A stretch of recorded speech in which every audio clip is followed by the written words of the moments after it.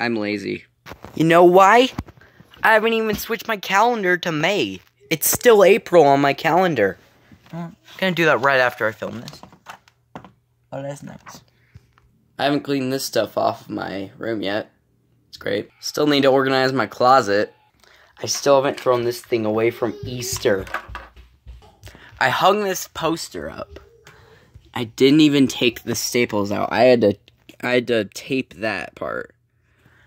I didn't and it ripped a little bit. you can't see but my window seals are a mess. Seals on my bed. This is my sheet.